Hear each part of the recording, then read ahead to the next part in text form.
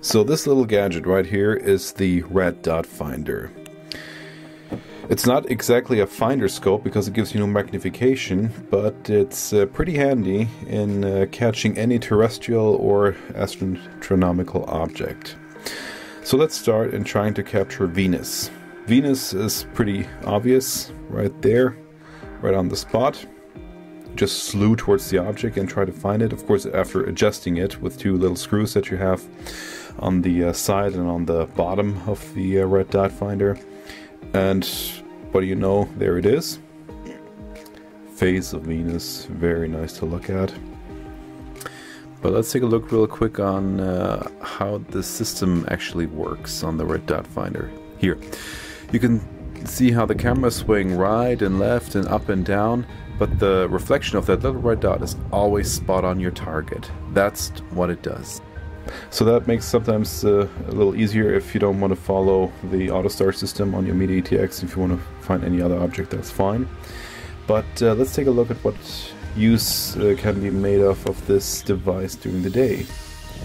So I got outside and looked at a little app and found out, hey, the Antonov AN-124 is crossing over my house. And will you look at that?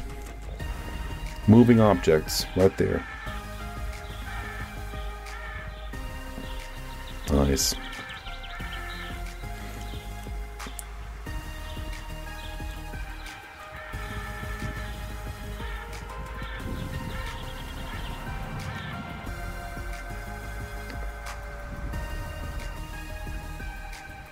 is the app I recommend getting for plane spotting. It's uh, Radar 24, Flight Radar 24. It's a free app and pretty spot on on uh, what's going on in the sky. And so I was just waiting for this to come by, and uh, with the red dot finder, I was able to find the track and follow it. Going to Paris.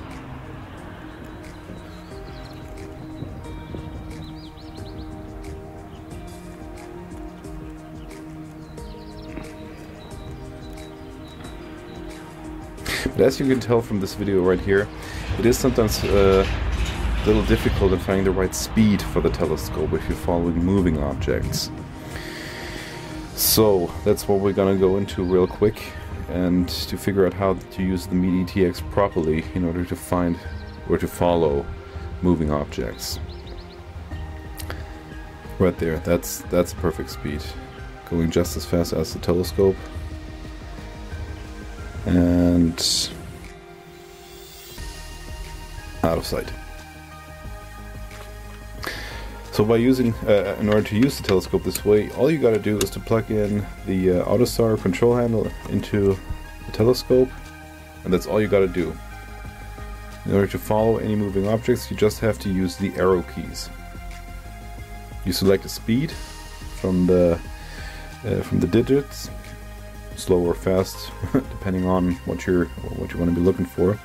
And here's a, a listing on what each number gives you speed.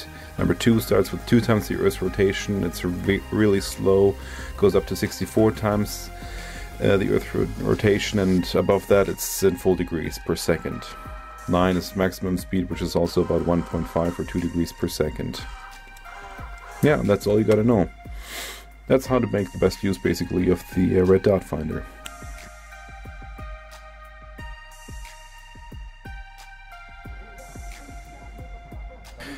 So here's some extra footage. Uh, we went to a kind of a shaky steel tower uh, just south of Hamburg, Germany, to catch a few more planes. Now this was shot during Corona times, so there were very few planes in the sky, unfortunately. But uh, I wanted to try this out since, since, I had so much free time on my hand.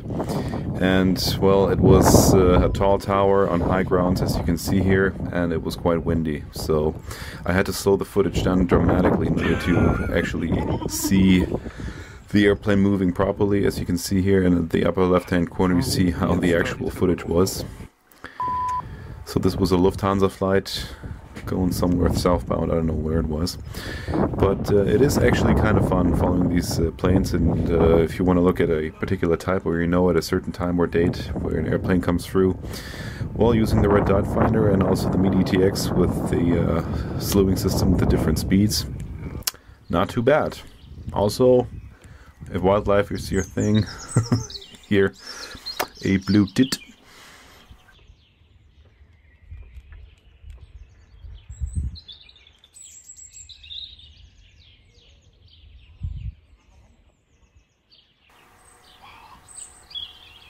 And of course, as always, the moon which you can also find without the red dot finder. Thank you very much for watching. Enjoy, and see you next time. Bye bye.